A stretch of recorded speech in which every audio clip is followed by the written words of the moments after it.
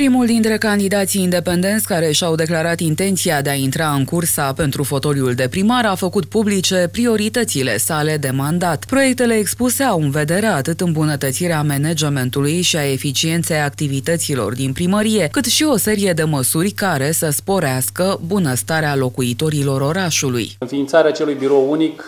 pentru toate serviciile din cadrul primăriei municipiului Buzău, pentru a elimina orice plimbare a orice, oricărui cetățean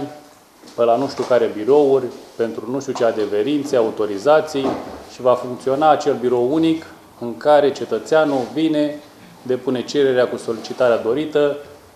și își primește adeverința, autorizația, fără să mai plimbe pe la un birou sau pe altul și să elimin din start acea interferență prin care s-ar suspiciona cineva că mici atenții, Uh, nici lucruri care nu mai au de a face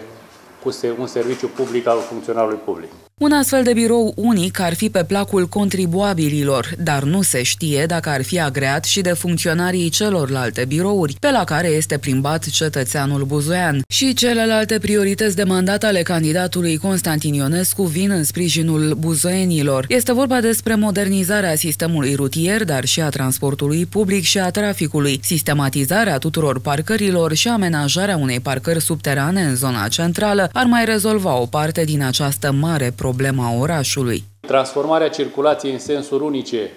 în toate cartierele din municipiul Buzău și dezvoltarea de parcaje în spic, disciplinat, ordonat, marcat și foarte bine puse la punct. Iar în a doua etapă, studii și soluții pentru dezvoltarea parcajelor de mari dimensiuni, așa cum am lăsat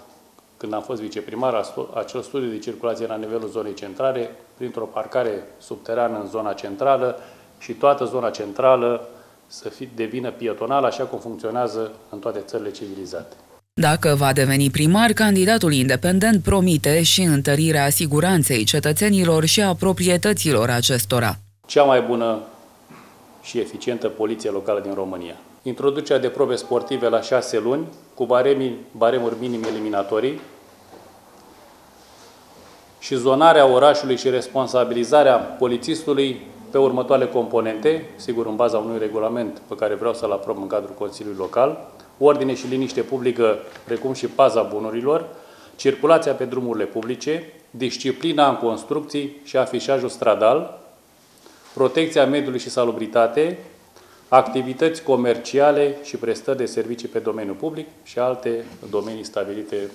prin lege. Pentru ca toate aceste idei să se bucure de sprijinul comunității, candidatul la primărie crede că ar trebui înființate consilii de cartier, ai căror membrii să activeze benevol. Astfel de comitete funcționează și în alte orașe și sunt consultate periodic în legătură cu proiectele de hotărâre pe buget, investiții sau priorități, înainte ca acestea să ajungă în Consiliul Local Municipal.